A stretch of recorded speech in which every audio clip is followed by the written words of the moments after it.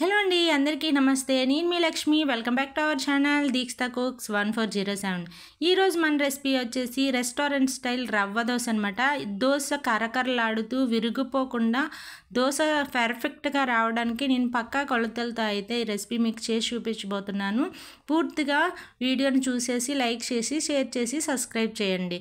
మనం ముందుగా ఒక మిక్సింగ్ బౌల్ తీసుకొని మెజర్మెంట్ కోసం ఒక కప్ అయితే తీసుకున్నాను. ఆ కప్పుతో ఒక కప్పు గోధుమ రవ్వ తీసుకున్నాను.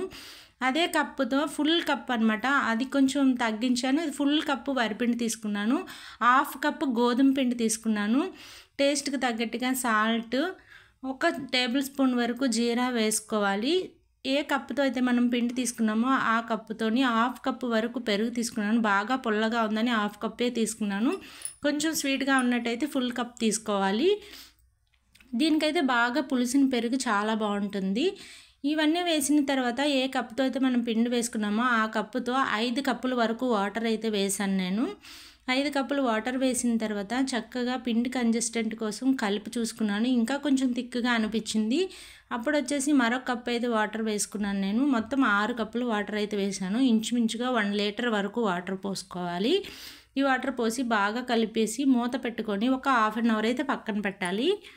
ఈ హాఫ్ అన్ అవర్ పక్కన పెట్టాక చూడండి పిండి కంజెస్టెంట్ అంతా కిందకి వెళ్ళిపోయింది వాటర్ పైకి తేలింది కదా. ఇలా అయితే మనకి పర్ఫెక్ట్గా దోశ అన్నది ఫెయిల్ అవ్వకుండా వస్తుంది.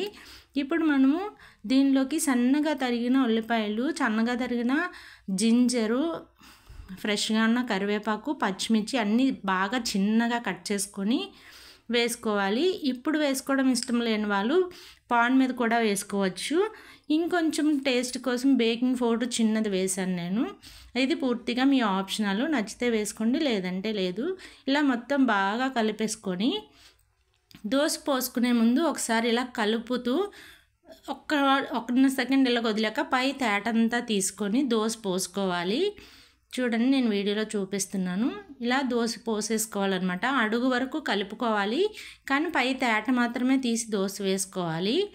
ఇలా వేసిన తర్వాత రవ్వ దోశకి దోశ అంతా ఆయిల్ వేయాలి. ఎడ్జెస్లో వేస్తే సరిపోదు అనమాట మధ్య మధ్యలో హోల్స్లో కూడా వేయాలి. ఇలా దోశ పోసుకుంటూ ఉన్నప్పుడు అడుక్కు వెళ్తున్న కొలది మళ్ళీ వాటర్ వేసుకుంటూ కలుపుకుంటూ దోశ వేసుకోవాలన్నమాట. ఎందుకంటే లాస్ట్ అవుతున్న కొలది పిండి అన్నది తిక్కుగా అయిపోతుంది. ఆ తిక్కుగా అయిన పిండిని పలచబెట్టుకుంటూ వేసుకోవాలి. చూడండి మనకి ఎక్కడ దోశ అన్నది ఫెయిల్ అవ్వకుండా వచ్చింది. దోశ వేసేటప్పుడు పాన్ అన్నది చాలా వేడిగా ఉండాలి. పాన్ని రైట్ రౌండ్ తిప్పుకుంటూ కాల్చుకున్నట్టయితే మన దోశ క్రిస్పీగా చాలా టేస్టీగా వస్తుంది. ఈ వీడియో మీకు నచ్చినట్టయితే తప్పకుండా లైక్ చేయండి షేర్ చేయండి సబ్స్క్రైబ్ చేయండి. రెసిపీని అయితే ట్రై చేయండి. మీకు ఎలా కుదిరిందో కామెంట్ సెక్షన్లో అయితే కామెంట్ చేయండి. మోర్ వీడియోస్ కోసం మన ఛానల్ సెర్చ్ చేయండి.